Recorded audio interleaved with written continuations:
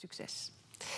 Al 19 jaar zingt Donna de Laurie als achtergrondzangeres bij Madonna. En hoewel die de naam heeft van veel lijsten te zijn, heeft de Laurie toch nog de tijd om zelf platen te maken. Zaterdag stelde ze haar zesde album Sky is Open voor in de Fame Record Store in Amsterdam. Eergisteren en gisteren trad ze even verderop met haar bazin op in de Amsterdamse Arena. I just, I just want us all to go out there and take the people in the audience to another place. Donna, thank you for doing it again. You've been with me the longest.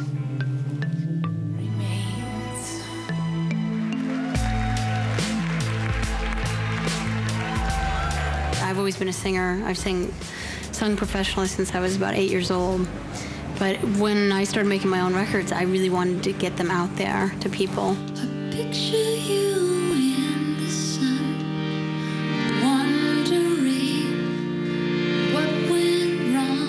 Think music uh, originally was to communicate without words and just something that you feel. And that's what music is to me. When I hear music, it's kind of like a tool to open me up, to make me feel more.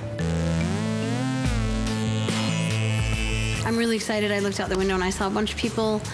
And um, there's just so much love and support that I get from the fans that it just fills me up.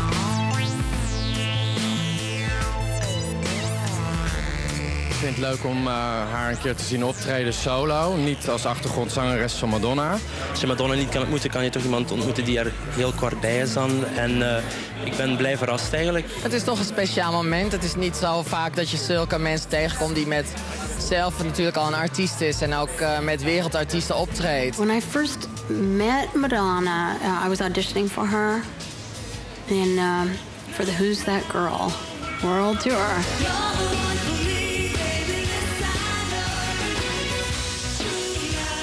And I was really nervous and I was really scared because I didn't know. I'd seen some videos of hers, but I didn't know what she was looking like, and I, I just didn't know anything about her, how she was going to be personally. And she was different. She came in looking different than I'd seen her on the videos, and and um, she was very, you know, she was demanding and, and everything. How, how she is, she was really like she really demands you to be your best. And right away, she was doing that with me, and and I was, you know, and I auditioned for her and I got the I got the part.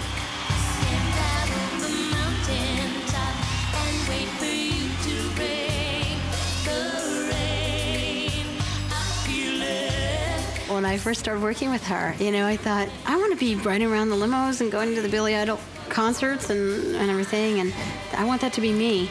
And then I realized that I wasn't really making my own music, and um, it became more about the music than trying to be a star and trying to do that.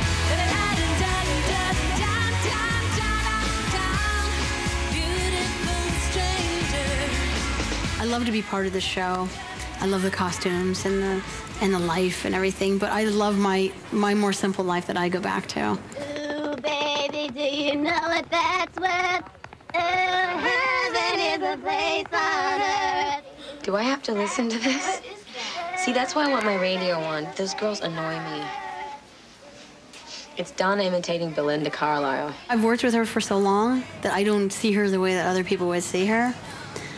I know I see her as a person that I work with and uh, who's very busy and serious and dedicated and and when we work together like I said there's that seriousness so I don't expect to just you know well let's go out and have a drink or something you know it's not like that we're there to work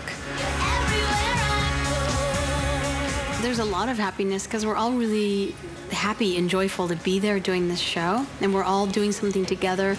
There's a sense of unity and family just in the nature of what we're doing. So now i'm trying to just say there's only three weeks left. Really appreciate this. And no matter how tired i am or i don't eat well or you know whatever could i could be complaining about i'm to miss it